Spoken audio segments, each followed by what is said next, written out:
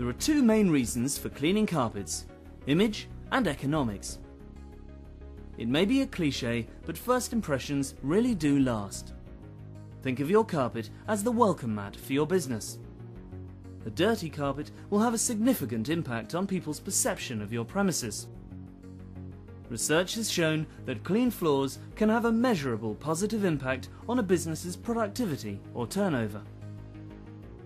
Few people view carpets as capital equipment, but carpets are a significant investment, and as with any other piece of capital equipment, proper maintenance will help to maximise its life.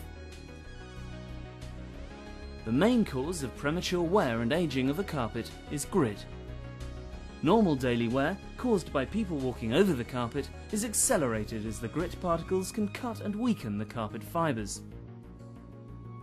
Regular maintenance, by thorough cleaning, removes the grit particles and helps to maximise the carpet's life. One of the benefits of carpets is that they act like a filter and trap a lot of contaminants that would otherwise be in the air.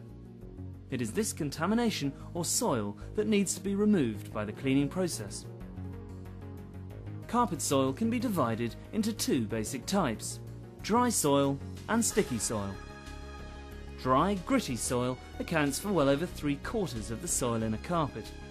This dry soil can be removed by regular, thorough vacuuming. Sticky soil traps dry soils, making carpets look dull and grey. The key to effective carpet cleaning is removing this sticky soil and ensuring that it does not come back. The Cimex Encap process efficiently and effectively deals with the problems of sticky carpet soil.